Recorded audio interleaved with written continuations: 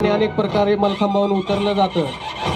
ते वेगवेगळे प्रकार आज आपल्यासमोर छोट्यापासून ते मोठे मलखांबट्टू आपल्यासमोर सादर करत आहे प्रचंड बोल मस्तकों के झुंड आज जंग की घड़ी की तुम हार दो। बंदर म्हणजे माकड माकडाची स्थिती आणि माकडाच्या स्थितीतून कसं उडी माकड जसं मारतो त्याप्रमाणे बंदर उडी मलखांबावरचा डिस्काउंट आहे. आर्यन आपल्यासमोर सादर करत आहे. बंदर उडी.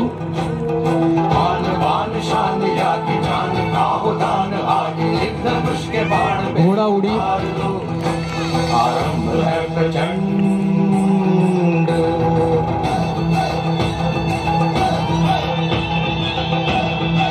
यानंतर संग्राम हा छोटासा खेळाडू आपल्यासमोर बगलीचा आडवा फरारा.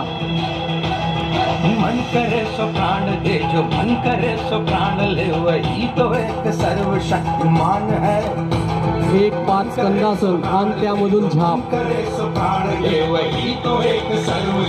जेव्हा एक खेळाडू झाप मारतात तेव्हा त्यांच्या जेवढा वेग असतो त्या तीन चार पटीने त्यांच्या सांध्यावर तेवढंच वजन येत असतं.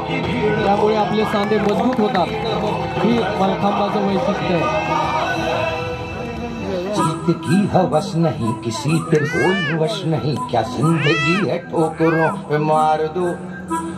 मौत अंत है नहीं तो मौत से भी क्यों डरे? ये जाके आसमान में दहाड़ दो। बैठी झाप सुंदर असा मलखांबावरील प्रकार छोटासा खेळाडू आपल्या समोर दाखवत.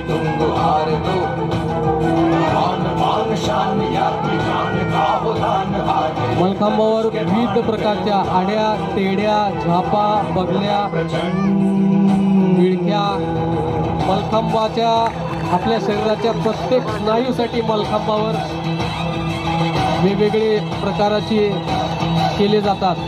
त्याचं एक